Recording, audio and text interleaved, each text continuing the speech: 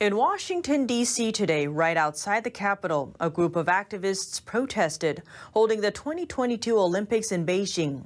Protesters tell us that allowing the Chinese Communist Party to host the Olympics only emboldens the CCP to continue with their human rights atrocities.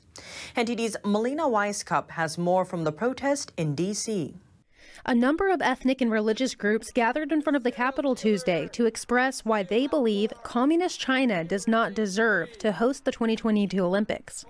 Not only should they not be hosting, they should be banned, and they should be declared a transnational criminal organization, and we should be breaking off all diplomatic and economic ties with them. Ethnic groups like Tibetans and Mongolians have had their spiritually rich cultures devastated by the Chinese regime.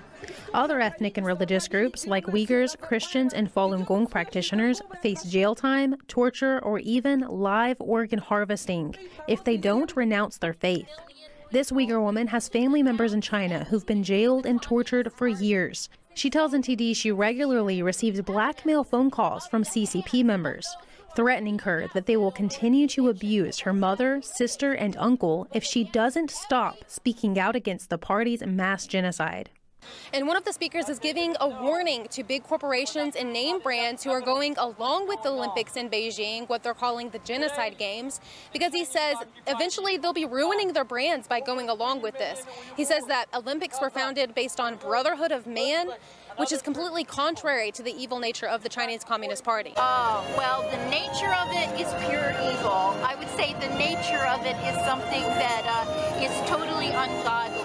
They have tried to make a god of themselves. And look inside yourself and see what, what you really think, not what the political correctness thinks, things like that, but also find people who have been through persecution, who have been through torture, read about what's really happening. An organizer of these protests says this is about people standing with upright principles and morals although people may not see anything um, in the short term, but the long term is that uh, these, these types of activities have also uh, gained the support of folks on both sides.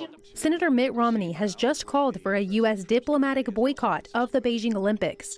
The European Union just passed a resolution calling for such a boycott. Now, Romney and these protesters hope Congress will follow their example and do the same. Melina Wisecup, NTD News.